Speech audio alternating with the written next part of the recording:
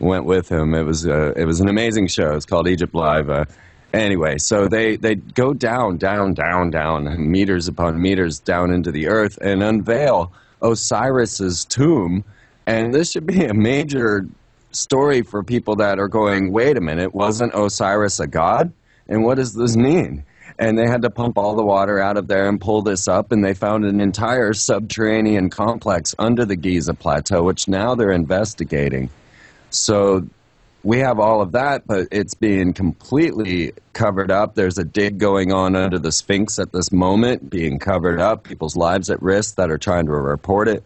There's a lot going on. They, they eventually changed the name of the Osiris tomb to the Osiris shaft and I kind of giggle because, you know, all of these obelisks that you see around are actually Osiris's phallus or Osiris's shaft.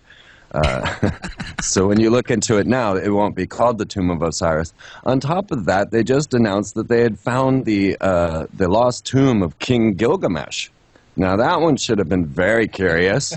Yeah, I couldn't find any further reports on this. Now, it was absolutely identified that they had found this lost town or city of Ur, and in there they'd found King uh, Gilgamesh, and you realized now Gilgamesh was a Nephilim. He was a giant. He was two thirds God, according to him in his book, and saying that his mother was a goddess and his father was human and that he tried to get off planet Earth. He went around to all of the major temples or the housings of the gods, where he ran into things like flaming uh, swords and, and, and strongly barricaded doors. The gods never let him in. But he was a, a giant, you know? And so now uh, here we are in the 21st century announcing that we found his tomb, and everyone just goes, oh. Yeah, well, th- yeah. that might actually bring some validity to all these Sumerian tablets and this this alternative history, and it might just blow away the whole power structure of religion. I think the powers that be thought they had a handle on everything until archaeology came around, and then the internet came around and made things even harder for them because we're finding out things and, and sharing this information with each other. They don't have nearly as much control over it as they used to. So, to be honest, that's what I'd like to talk with you guys today. Max and I are a little out of it today because we had the big presentation yesterday. Uh, oh. we even had the the Bundjalung high priest or custodian come and bless the uh, the talk we gave here. Oh wow! Uh, oh, nice. It was, it was quite amazing. I already have pictures of him at the, the talk up on my website on the blog.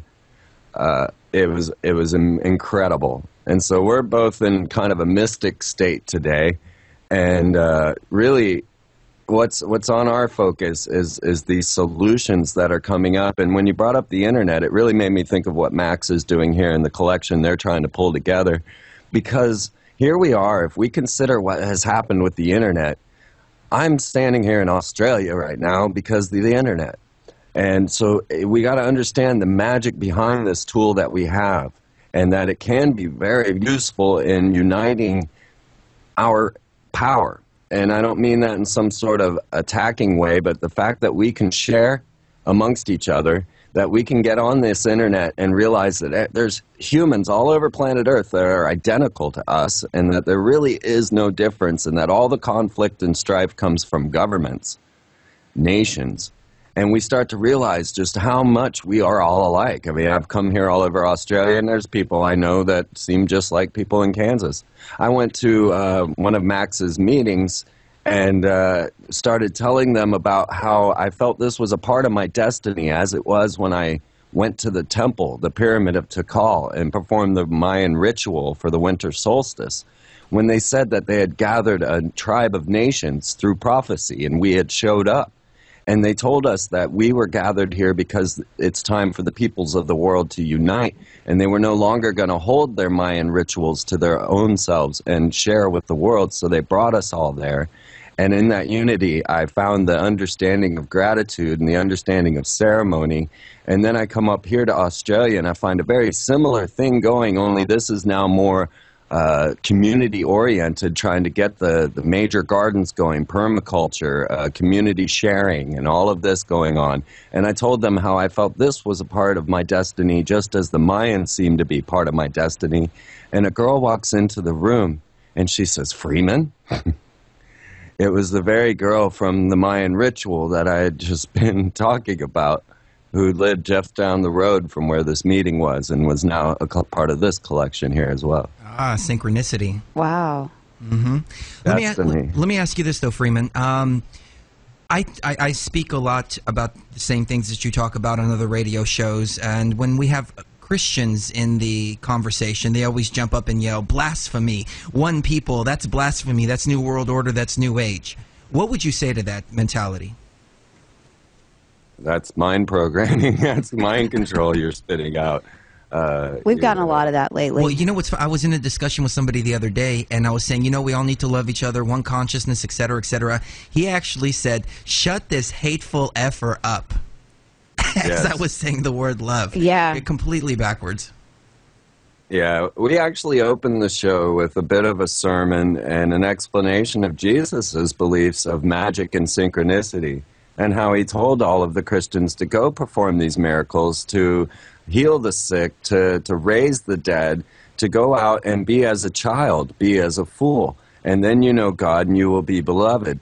All of these things have been written in the Bible. If you show it to him, if you show him uh, having his uh, apostles walk on water and then they fall in and he says oh ye of little faith you know we need to be the miraculous ones and so if the christians can't read their own bible without only looking at the nefarious ends without only seeking the satanic version of the bible you could start to look at the miraculous version uh, I all like of that. this is in there I like that the satanic version of the Bible. That's that's beautiful because that's what a lot of these people come off to me as. yeah, they're they're. I'm I'm a Christian personally, but I'm not that kind of Christian that that thinks that it's not okay for other people to have theories or ideas or. Um, and it's why people are so drawn away from that culture because reality is what they say it is and it's not okay to question it or have ideas about it even when what you're taught flies in the face of, of science and logic that we've learned over the years i mean it's like nope the world's flat you know Max, how do we wake people up from this religious programming? Oh, that's the million dollar question, isn't it, Chris? It is. It is. But you're the million dollar yes. man, so I know you have the answer. Well, it's, it's it's all sorts of religions as well. I mean, there's been a lot of things that have been devised to lead them away from, from being woken up and, and give them uh, the perspective that they have been woken up, like the New Age movement, for example. I mean, I've probably just made a lot of enemies by saying that, but um, no not at all The New Age movement really is it's just another religion. It's it's all um, it gives people 95% of the truth, and then it wraps them up in ego and keeps them in a state of inaction. yeah they're so busy hugging a tree that they don't realize that their country's being invaded or that their mind is being invaded Well, the thing is, it's all about love and light, and they're saying, I I can't focus on any negative. I have to just focus on the positive. But what they're doing is they're allowing all this negative stuff to go on in the world. They're basically putting themselves in a state of denial and, and thinking that they're doing the right thing by not looking at anything that's going on around them. It's, uh, it's very frustrating, and they're some of the hardest people to get to because many of them are very wrapped up in ego. They get to a certain stage, and then they get convinced that they are somehow enlightened, and they're just not, not prepared to look any further. Ladies and gentlemen, we're coming up to another break. Uh, Max Igan and Freeman are our incredible guests for the evening, and we'll be right back. TruthFrequencyRadio.com is our website, and of course, the networks American Freedom and Polygraph. We'll see you on the other side.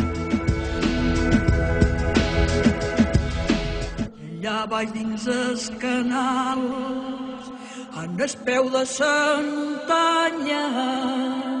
pareix que sent picarols,